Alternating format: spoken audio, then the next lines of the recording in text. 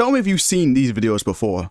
Chronoa Moveset DLC 11, Xenoverse 2 DLC 11, Xenoverse 2 DLC 11.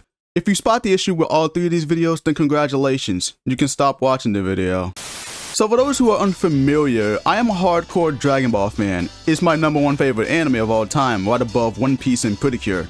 My favorite game in the franchise is easily Budokai Tenkaichi 3, easily the best video game in the franchise, so of course I'm hyped as hell when I saw the trailers for the upcoming fourth entry, Sparking Zero aka Budokai Tenkaichi 4.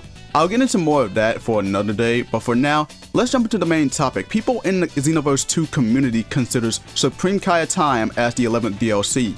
I'll explain why that's false and I'll also talk about one specific YouTuber later on in the video. But for those who don't know, Supreme Kai of Time was added to Xenoverse 2 as part of an event called the Conton City Tournament, where you fight against strong enemies in order to unlock her, as well as her skill set. And just want to make this clear, you don't fight against actual players, you just fight against computers. This event happens once every few months, so you'll have multiple chances to get her. However, when she was added into the game as an update, lots of Dragon Ball YouTubers lumped her in as DLC, which is extremely misleading. I can't believe I even have to explain the difference between DLC and updates.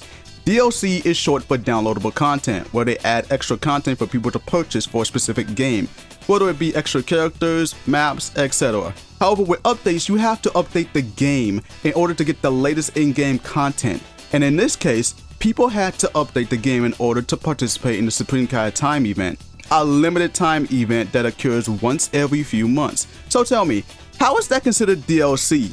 You tell me. But if you thought that was dumb, it doesn't come close to a certain dumbass in the Xenoverse 2 community.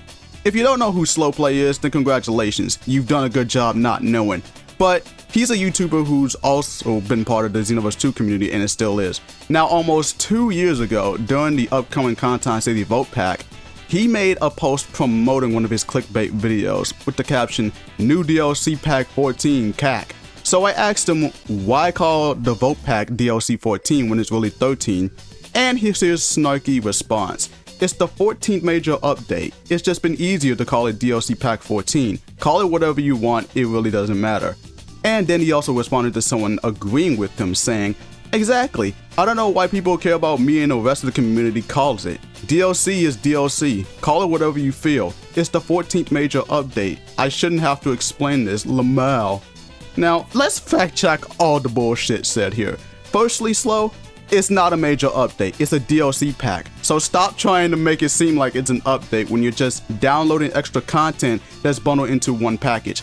Downloading DLC is not the same equivalent as updating a game to its newest version. Secondly, I and the minority care because you and many other Xenoverse YouTubers have been misleading with these false titles, trying to lump the Supreme Kai of Time event into the DLC category when it's really a major update.